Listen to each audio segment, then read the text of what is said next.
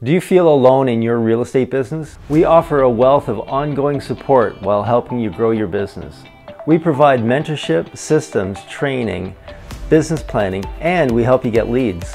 And that's just a small portion of what you'll get. Our brochure has more information for you.